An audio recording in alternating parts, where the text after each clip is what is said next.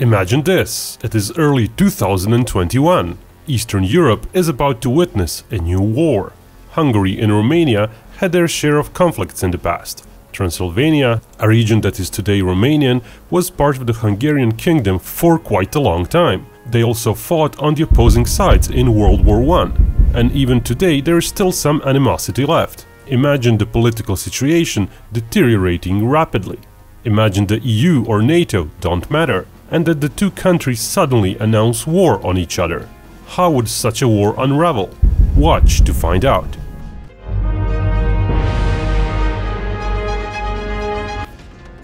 Hostilities start immediately. The morale is assumed to be the same and no third-party government interferes.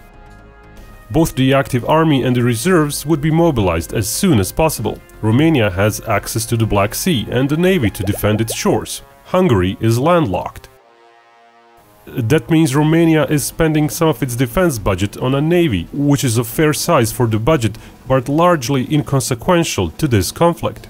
As the Navy personnel too have some combat training, Romania would look for the naval personnel whose naval systems experience isn't crucial and start converting them to some sort of an army unit. Even though such units might not need months of training as regular civilians would need, any such unit would enter combat at a later date. By then, the war in the air would be in full swing. Romanian Air Force is a mix of old MiG-21s, modernized by Israel, and second-hand F-16s, stuck roughly at 1990s tech level. Opposing them are Hungarian-operated Gripens, their tech level being roughly a decade or two old. Exact numbers of MiG-21s are not available. A year ago roughly two dozen were in service, but they are being retired as Romania is procuring more and more F-16s.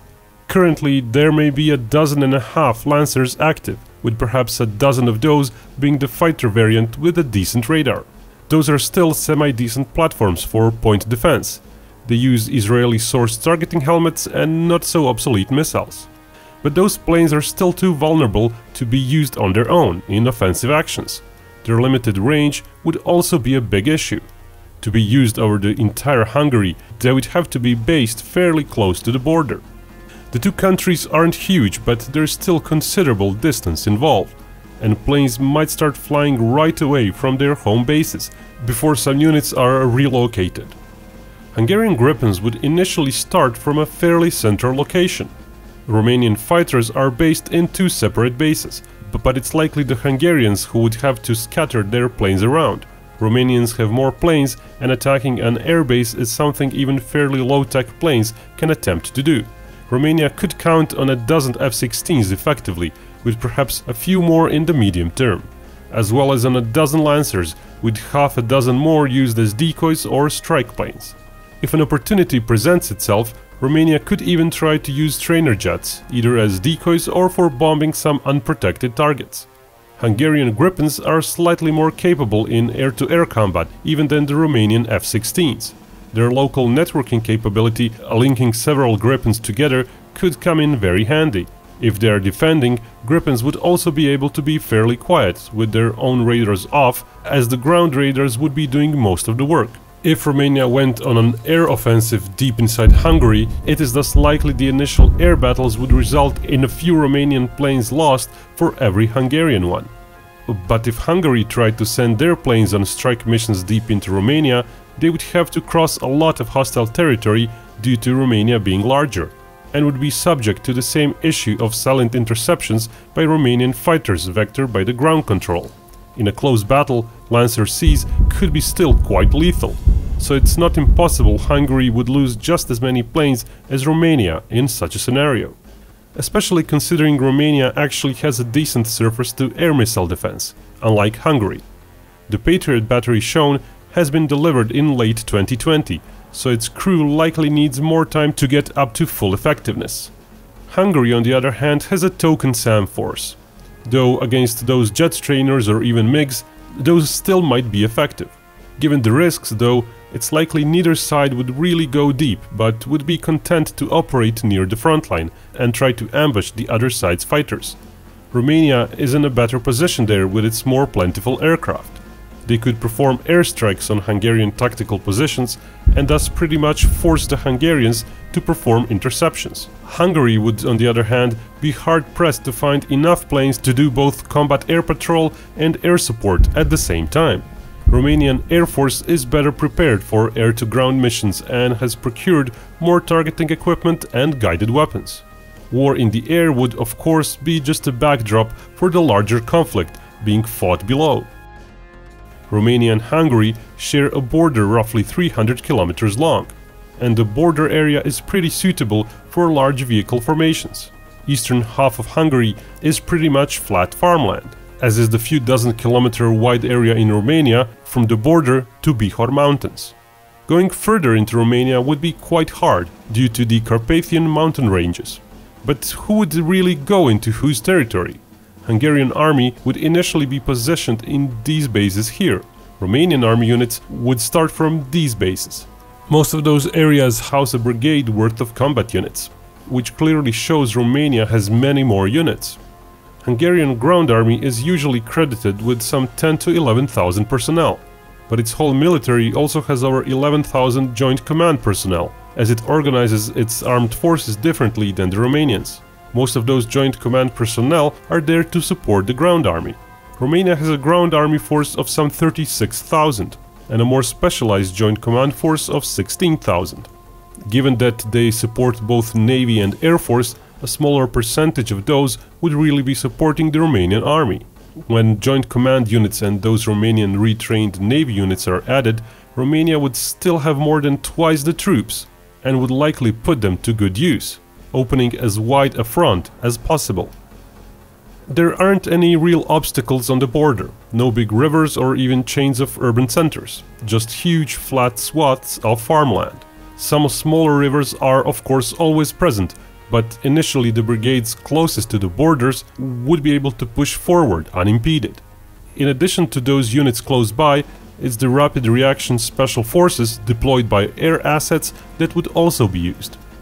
Hungary has a regiment worth of forces trained for such incursions. Romania has a whole brigade, roughly three times more troops. But also Romania has more aircraft with which to actually deploy those troops. Assuming two-thirds of each side's fleet is used, Romania might deploy some 600 lightly equipped troops in one go, while Hungary would likely be limited to under 250. These figures do not include troops delivered by transport planes. Hungary has no such planes of its own, while Romania has quite a fleet and a battalion worth of paradrop trained troops. With two-thirds of the planes, the whole 400 troop strong battalion could be deployed. Interestingly, there are three C-17 heavy transport planes permanently stationed in Hungary, but those are shared planes operated by multinational crews even if somehow commandeered by Hungary, their strategic transport design wouldn't lead to immediate usefulness in this conflict. Hungary would also have more trouble actually trying to deploy any force behind the initial front line, due to Romanian air defenses. In addition to more planes and more SAMs, Romania also operates mobile radar-controlled anti-aircraft artillery, which could prove fatal to helicopters if they happen to fly close to it. Shoulder-launched missiles are also a big threat to helicopters, and that's an area where Hungary's more modern Mistral missiles are ahead of Romanian's Strela variants.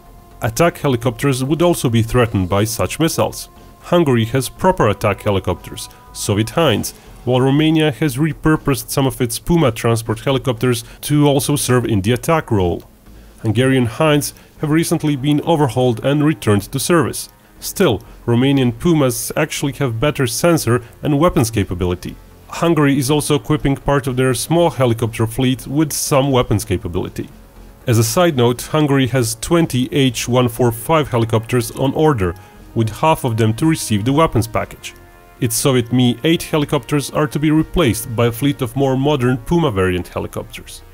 Overall, both sides are in the midst of sweeping modernization efforts, here's a list of yet unmentioned systems that are yet to be delivered.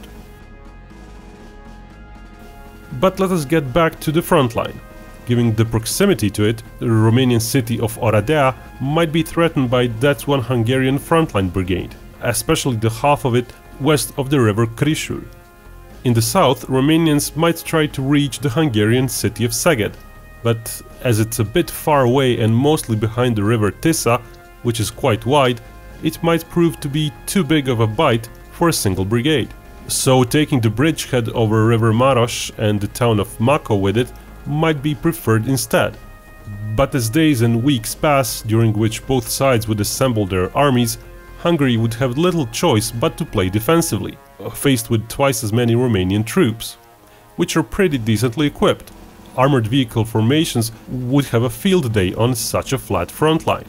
And when it comes to tanks, Romania is far ahead. Hungary has T-72s and have started receiving first of the 12-strong batch of ex-German army Leopard 2s.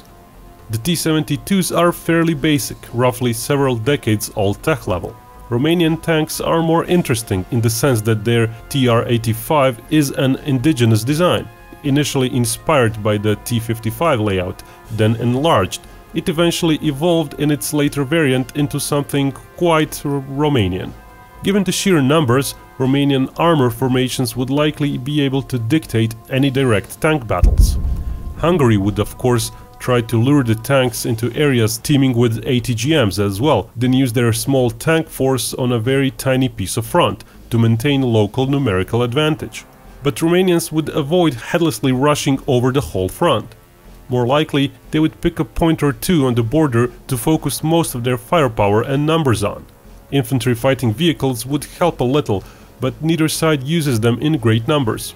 Armored personnel carriers are much more common though but pretty much all are of Cold War era descent, with the possible exception of Romanian upgrade of their IFV, giving it fairly decent optics and spike anti-tank missile capability.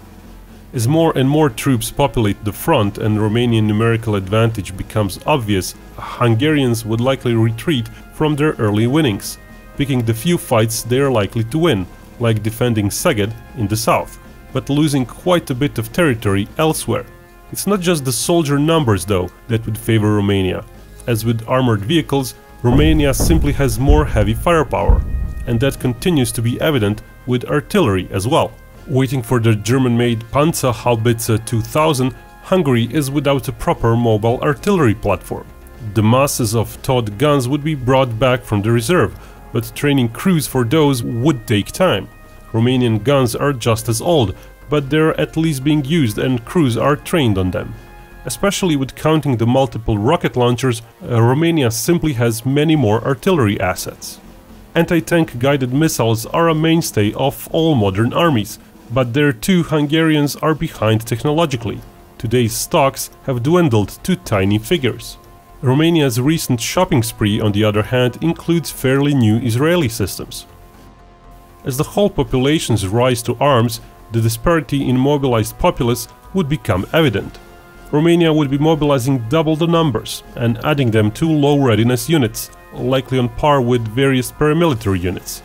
Army reservists might be most useful of the group, especially those that have served in the army in the last decade or so. Luckily for Hungary, such poorly trained and very poorly equipped units would be quite inefficient in offensive operations probably needing even more than 3 to 1 ratios in numbers to successfully take enemy territory. Morale might also be changing over time, especially if Romanians, due to the nature of offensive operations, like taking urban areas, suffer greater casualties. Nevertheless, the movement of the front line would be inevitable, if slow. Romania would simply be too much for Hungary to handle. Besides twice the population, its economy is weaker, especially in purchasing power parity terms. And Romania has been spending on defense a lot more in the last decade or so, especially the last five years. There's various other details not mentioned, like the fact Romania has decent-sized aerial drones, while Hungary does not. Given the very low number of Hungarian combat planes and SAM systems, Hungarian Air Force would eventually find itself whittled down to just several aircraft, while Romanians would still enjoy a few dozen left. So the whole swaths of their country would be subjected to Romanian airstrikes and perhaps more crucially air recon, without the ability to counter them. That would be the final nail in the coffin, giving the Romanian troops on the ground ability to push even further. And some further cities would end up surrounded, and possibly forced to surrender. It's only the big losses in manpower, bigger than Hungarian ones, as well as the obstacle that is the Tisza River that might force Romania to decide they are happy enough with their conquests. And the war might eventually stop, with the front line still well away from Budapest. Nevertheless, the final outcome would still be very much unfavorable for Hungary.